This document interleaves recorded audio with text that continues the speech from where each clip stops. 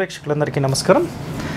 ఈరోజు మనం ఏం టాపిక్ గురించి డిస్కస్ చేస్తున్నామో ఈ టాపిక్ అనేది చాలామందికి చాలా రకాలుగా ఉపయోగపడుతుంది.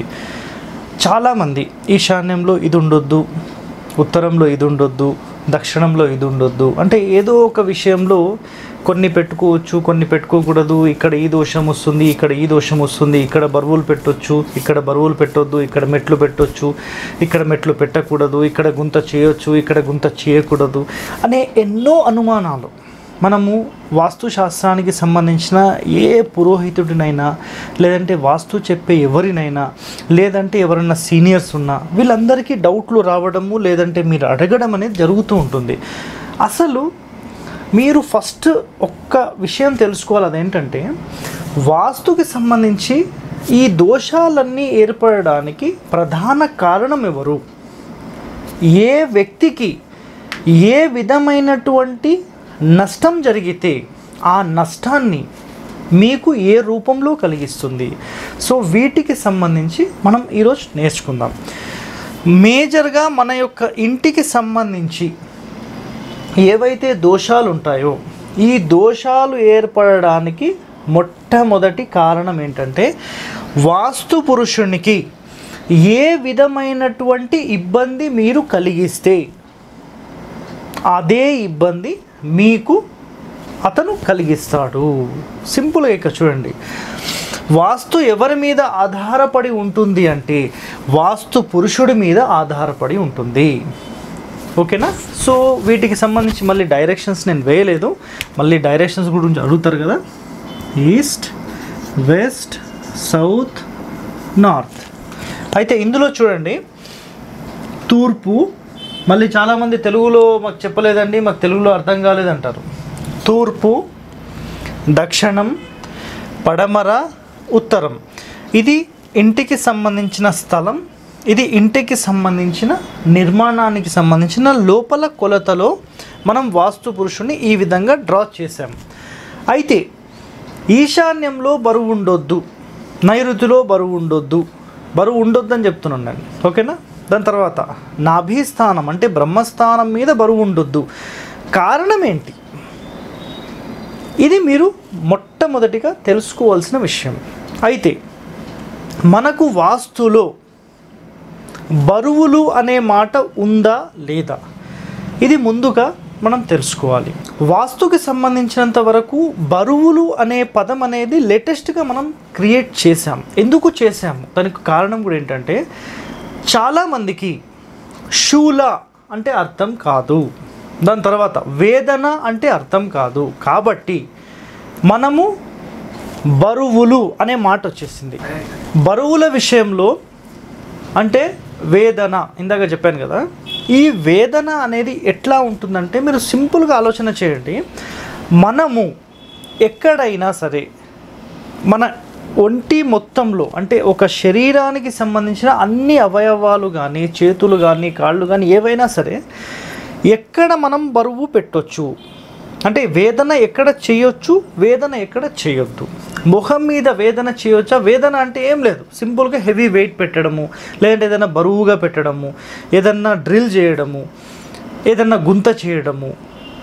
ఓకేనా? సో ఇట్లాంటివి పెట్టొచ్చా? మీరు సింపుల్గా ఆలోచన చేస్తే మీకు వాస్తుశాస్త్రం ఒక్కటే మాటలో సింపుల్గా అర్థమైపోవాలంటే ఇది ఒక్కటి నేర్చుకుంటే వాస్తు మొత్తం వచ్చేసినట్టే. చూడండి. ఇది ఈశాన్యం. ఇది ఈశాన్యం వాయువ్యం నైరుతి ఆగ్నేయం. అయితే ఈశాన్యంలో వాస్తు పురుషుని యొక్క తలభాగం ఉంటుంది. సో తలభాగం మీద బరువు పెట్టినప్పుడు అంటే వేదన ఇక్కడ కలిగించినప్పుడు మీకు ఏమవుతుందంటే సింపుల్. ఇతని తల మీద మీరు వేదన కలిగిస్తే ఏమవుతుంది?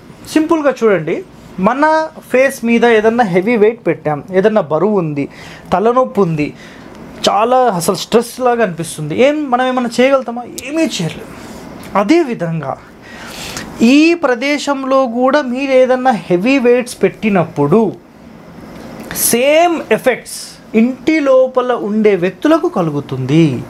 అదేవిధంగా నైరుతిలో బరువులు పెట్టాలని చాలామంది అంటారు కదా సో ఇదే నైరుతిలో ఎగ్జాక్ట్లీ కాళ్ళ భాగంలో మీరు గనక హెవీ వెయిట్స్ పెడితే భవిష్యత్తులో మీరు ఏ పని చెయ్యాలన్నా అవి చెయ్యలేక కాళ్ళకు సంబంధించిన నొప్పులు ఉండి ఎన్ని టాబ్లెట్స్ వాడినా అవి తగ్గక ఎన్నో ఇబ్బందులు మీకు ఇది కలిగిస్తుంది. మనము ఇంటి మొత్తంలో సెక్యూర్ చేయాల్సింది మూడే మూడు స్థానాలు. One two three. ఈ మూడు స్థానాలు మనం హండ్రెడ్ పర్సెంట్ పర్ఫెక్ట్గా సెట్ చేయాలి. ఓకే. ఇక ఇక చూడండి. చేతుల మీద బరువు పెట్టొచ్చా? పెట్టొచ్చు. మొక్కల మీద పెట్టొచ్చా? పెట్టొచ్చు. కాళ్ళ మీద పెట్టొచ్చా? తొడల మీద పెట్టొచ్చా? పెట్టొచ్చు. ఆరాంగా ఇవన్నీ ఏం సమస్య లేదు. బ్రహ్మస్థానం ఒక్కటి సెక్యూర్ చేసి ఈ మూడు సెక్యూర్ చేస్తే అయిపోయింది ఇంకా. మీరు ఏం లేదు. ఏ విధమైనటువంటి ఇబ్బందులు మీరు హండ్రెడ్ పర్సెంట్ కలగవు. సో ఇబ్బందులు లేవన్నమాట. సో ఇబ్బందులు అంటే ఇక్కడ చూడండి గుంతలు ఎక్కడ చేస్తాం? ఈ తలకు చేతులకు మధ్యలో చేసుకోవచ్చు. లేదంటే ఈ కాళ్ళ భాగం చేతుల భాగం చేసుకోవచ్చు. ఈ చేతుల భాగం చేసుకోవచ్చు. ఇక్కడ చేసుకోవచ్చు.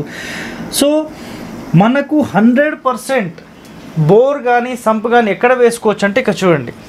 ఇక ఈ ప్రదేశాలు అంటే తలకు సంబంధించిన ఈ ప్రదేశాలు తల చేతుల మీద వేసుకోవచ్చు. తల మధ్యలో నుంచి ఇక్కడ చేతులు. తల అంటే ఈ తల కాదు ఈ తల మధ్య భాగం. ఓకేనా? అదేవిధంగా ఇది ఎక్కడ వేస్తాం? ఇంటి లోపల వేస్తామా? వేయం. సో ఇది వాస్తు పురుషునికి సంబంధించిన తలభాగం అయినప్పుడు ఈ ఏరియాస్లో మీరు వేసుకోవచ్చు. ఇంకా ఎక్కడ ఛాన్స్ ఉంది? వెస్ట్లో వేసుకోవచ్చు. సో ఇవన్నమాట అయితే ఒక్కొక్కరికి ఒక్కొక్క విధమైనటువంటి దిశ ఉన్నప్పుడు ఆ దిశ ప్రకారం ఇదంతా డిసైడ్ చేయడం అనేది జరుగుతుంది. సో వేదన అనేది సింపుల్గా వాస్తు పురుషునికి మనం ఏ విధమైనటువంటి వేదన కలిగిస్తామో అదే వేదన మన ఇంటిలో ఉన్న వాళ్ళందరికీ కూడా అదే ఎఫెక్ట్స్ అనేవి కలుగుతాయి. సో కాబట్టి ఎట్టి పరిస్థితుల్లో కూడా మీరు వాస్తు పురుషుణ్ణి వేదనకు గురి చెయ్యకండి. అర్థమైందా? ఇంకా కొన్ని చిన్న చిన్న పాయింట్స్ చెప్తాను నేను. హార్ట్ పాయింట్ ఉంది. ఓకే? కిడ్నీస్ పాయింట్స్ ఉన్నాయి. ఓకే? దాని తర్వాత ఎగ్జాక్ట్లీ సెంటర్ పాయింట్ ఉంది మర్మస్థానం ఉంది దాని తర్వాత నాభిస్థానం ఉంది దాని తర్వాత హార్ట్ లివర్ ఇట్లా ఏవైతే డ్యామేజ్ మెయిన్ మెయిన్ అవయవాలు ఉంటాయో అక్కడ మర్మస్థానాలను వస్తాయి మనకు.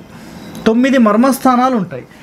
ఈ తొమ్మిది మహామర్మాల్లో ఏ విధమైనటువంటి పిల్లర్ కానీ గుంతలు కానీ స్టెప్స్ కానీ లేదంటే బరువులు కానీ ఇవేం రావద్దు. ఇది మీరు సెక్యూర్ చేయగలిగితే ఇది నంబర్ వన్గా మీకు పనిచేస్తుంది. పురాతన ప్రతి గృహం మీరు చెక్ చేసుకుంటే బ్రహ్మస్థానం చాలా పర్ఫెక్ట్గా ఉంటుంది. సో ఈ విధంగా మీరు దీన్ని సెట్ చేసుకుంటే ఏ విధమైనటువంటి సమస్యలని ఉండవు. ఓకేనా? సో ఇవన్నీ మీరు నా గత వీడియోస్ అన్నీ మీరు క్లియర్గా చూడండి. చూస్తే వీటన్నిటికి సంబంధించిన సమాచారం మీకు అర్థమైపోతుంది. ఓకే? సో ఈరోజు నేను చెప్పిన టాపిక్ మీకు క్లియర్గా అర్థమైంది అనుకుంటున్నాను మీరందరూ నా హరివాస్తు యూట్యూబ్ ఛానల్ సబ్స్క్రైబ్ చేసుకోండి లైక్ చేయండి గంట బొమ్మను యాక్టివేట్ చేయండి పది మందితో షేర్ చేయండి.